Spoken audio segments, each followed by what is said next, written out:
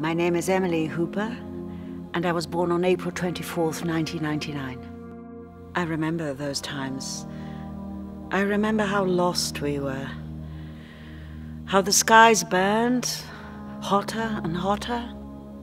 All the warning signs were there. Somehow, some people were choosing to ignore it. This was our planet. And we were tearing it apart.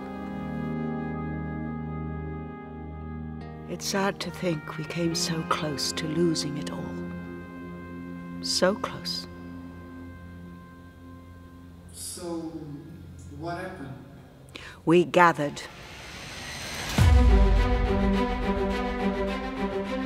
Everything started to change. And I'm proud to say I was part of that change. I was there. 2020 in Lisbon, Portugal, nearly 40 years ago, here, right here in this building, the Planetiers World Gathering. I was young and full of dreams. We felt empowered to change, to act.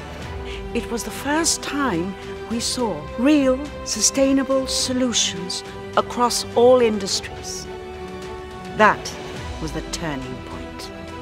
So, in a sense, you were heroes. No, we were planetiers.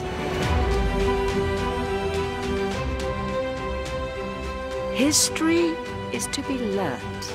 The future is to be thought of. And the present is to act.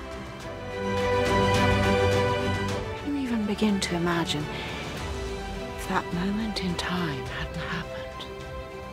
If we kept heading to disaster? Can you?